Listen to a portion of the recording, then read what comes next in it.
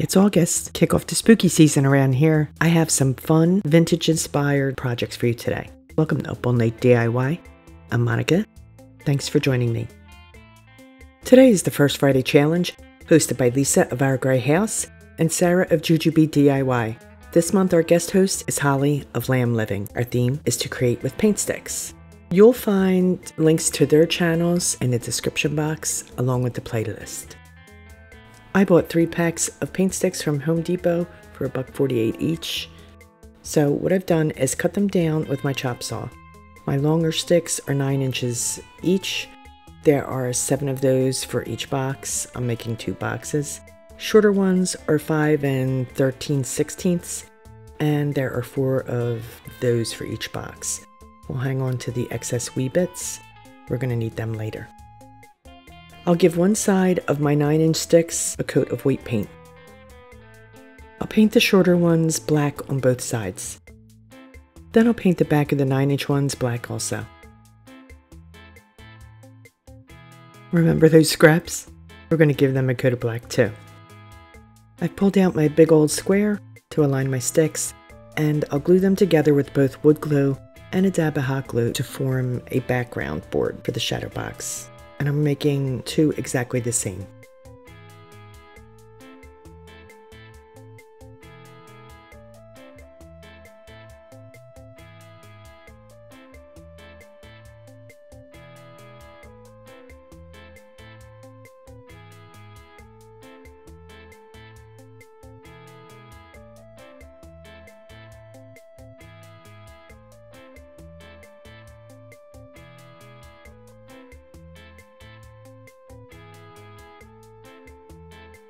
I'll glue those wee scrap bits across the back spanning all the sticks, you know, for extra support.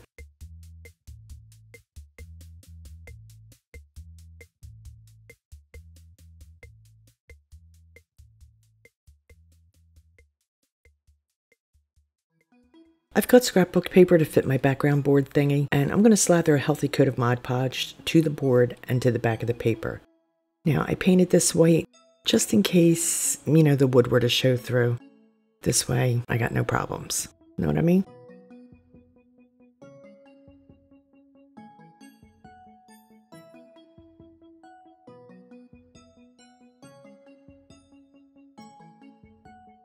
Now that I got Mod Podge on the board and the paper, I'll apply it and I'm going to hit it with my brayer. And now I'm going to add a top coat.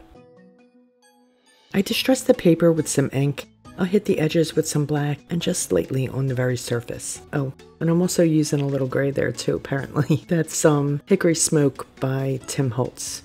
Yeah, okay, now I come in with the black and hit those edges. Here's where I realized I made a mistake. I should have waited to put the back supports on after I squared the sides. Would have made it easier if the board was flat. Worked out in the end, but next time I'll do it afterwards. Okay, once again, I'm just using wood glue and a wee bit of hot glue to hold these together.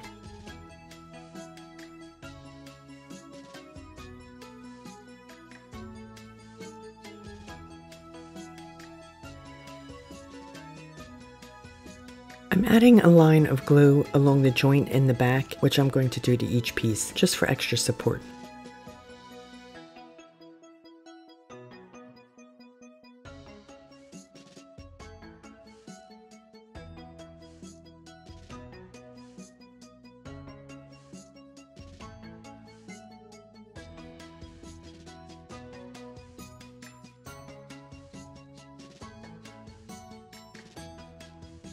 I'm going to add the cross pieces across the front and we'll be done with the box for the moment.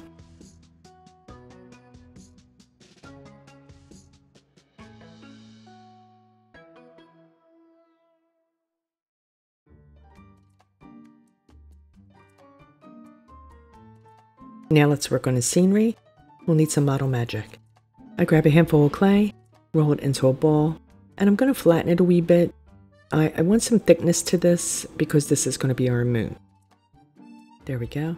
Now I'll roll small ball for the center of his nose. And two smaller balls for his nostrils.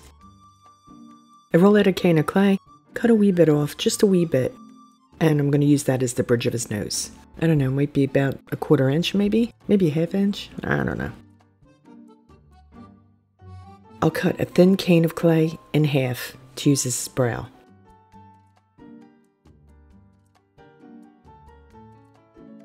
And I'll use my clay tool to smooth where the clay sections meet. You can do this with a paintbrush handle too. I want these sections to look like one piece. Rolling another cane.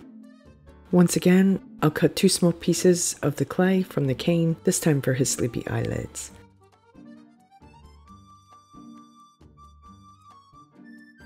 And I'll shape them with my tool. I want the bottom of the lid to protrude slightly more than the top, so I'll use the brush handle to flatten them down a bit. And I'm going to repeat this on the other eye.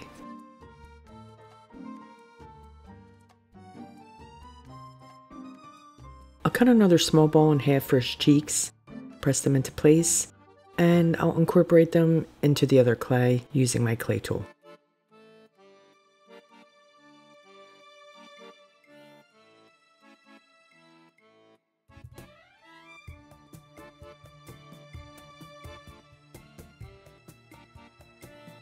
I'll come up under his cheeks with the handle of the clay tool and add some dimples. I rolled a thicker cane to add his pouty lower lip, and I'm going to add some texture to that. I'm just flattening it with my thumb, and I'm going to come in and just add some ridges and lines. I'll add some character lines to his eyes.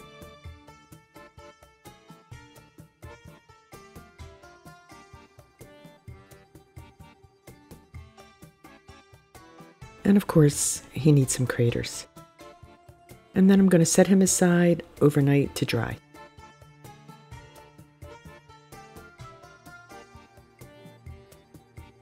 Now that he's dry, I'll use some floating medium to mix up a wash to stain him. All I'm going to do is get some medium on my brush, then I'm going to pull some drizzle gray from the puddle, kind of mix them together on my plate, and I'm going to coat him in sections, wiping back my mixture with a paper towel as I go along. And I really want to get into all the nooks and crannies.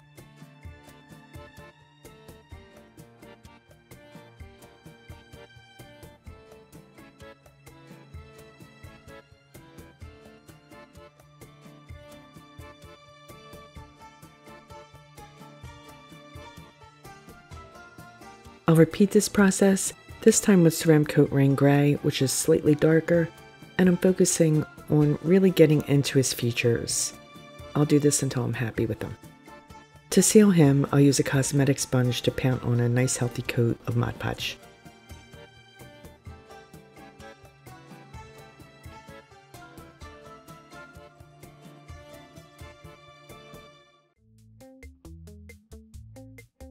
Cut the rest of my scene from black vinyl with my cameo to give it a shadowy silhouette effect. We have a bendy autumn tree with leaves blowing around, a picket fence, and a black cat. I lightly dry brush the outside of the box with rain gray to distress.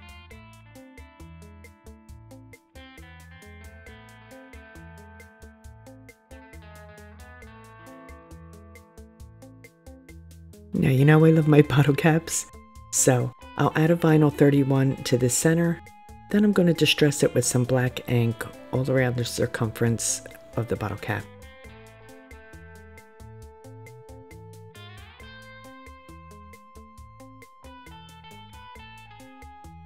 I decided to dry brush the vinyl elements with some rain gray too, ever so slightly, just to kind of highlight them. I glued the moon into place with 3-in-1 glue and a dab of hot glue.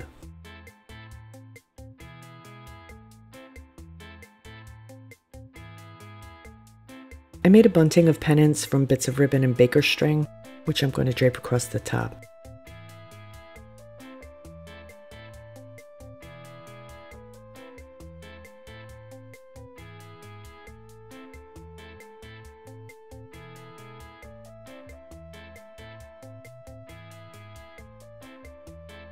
I'll coil the remaining baker string and glue it to the sides.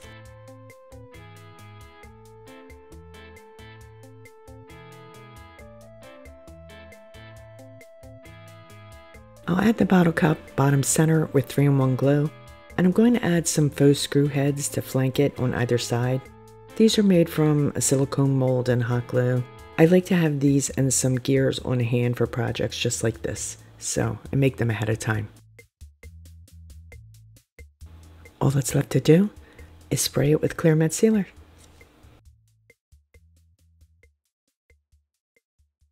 For our second shadow box, I'm using this absolutely adorable wee foam owl from Dawn at Shabby Meets Bling. She has an Etsy shop where she sells these cuties, as well as the sweetest ghosts and bats. I'll link her shop in the description box for you. She makes them from foam and hand carves the back. I'm going to cut the back from this guy since, you know, we need him to lay flat. And I'm just using a serrated knife for this. It cuts super easy and really nice and clean. I'll give this wee fellow two coats of black acrylic paint, and I gotta say that the foam takes the paint beautifully.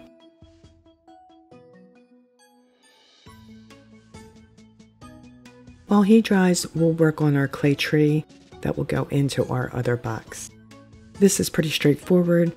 I'll roll a clay cane on the thicker side for the bottom part of the tree trunk. I'm going to press it flat and line it up along the side of the box you know, giving it a rough shape of a tree trunk. I'll add a thinner cane as a branch for the to perch on. And again, this is just a rough shape. I'm also going to add more clay to form the top of the tree.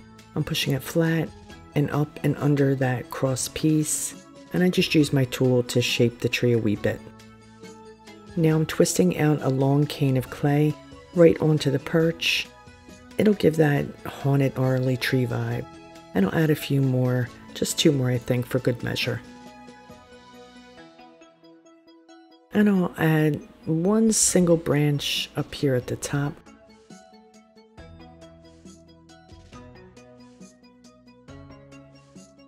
I'll add some grooves to mimic the wood grain, and then we're going to let that dry overnight.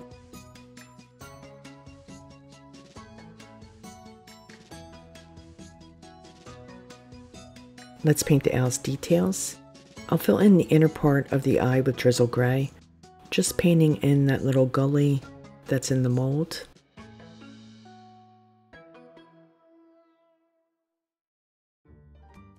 And now I'm going to outline his ears with the drizzle, and I'm going to do his beak too.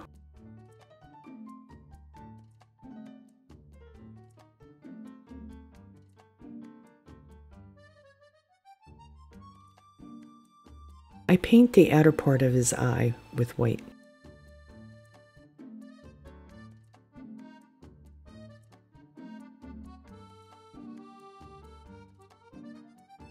Now I'm going to come in and hit the rest of the raised details with some of that hickory smoke ink on a cosmetic sponge. This worked perfectly to pick up all of those details.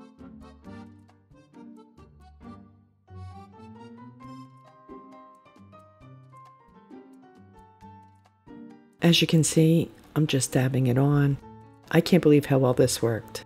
This went so quick and it was really a lot of fun.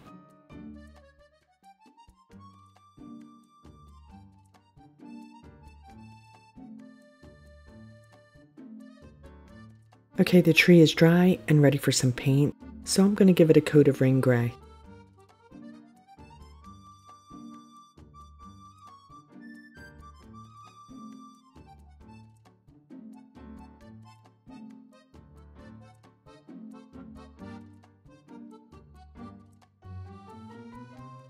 I'll use the same wash technique that I did for the moon, but this time I'm using Hippo Gray for my first coat, and I'm, again, getting into those little grooves.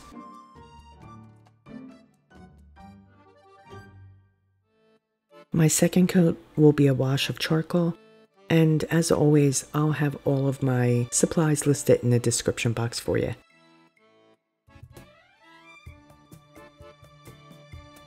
I'll dry brush the box with drizzle just like I did with the other one.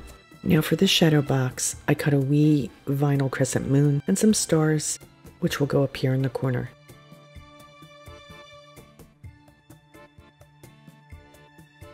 I'll attach my ale just above his perch with 3-in-1 glue and a tiny wee dab of hot glue to hold it in place quickly.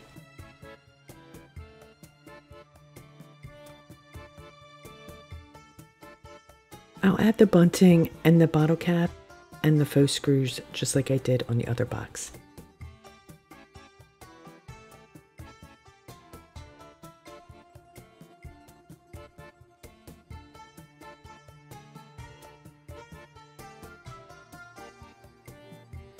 And I decided that a knob at the top of each box was necessary too. So just adding that with hot glue, it's just a painted bead, you know, wooden bead. That was just one of those last minute details I felt was necessary. So there he is, all cute. Do check out Dawn's Etsy, as I said, she has some cute stuff. It will be linked below. Here's a final look at our vintage inspired Halloween shadow boxes. Thank you, Lisa, Sarah, and Holly for hosting. Links to their channels are in the description box, along with the creators' playlist. Playlist. Please be sure to check them out and show everyone some love.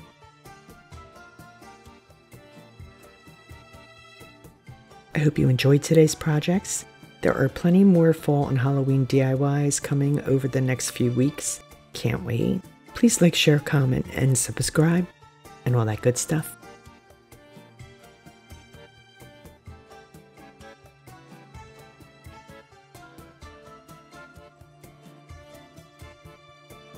Stay creative, my friends. Thanks for hanging with me. See you next time. Up all night with Monica.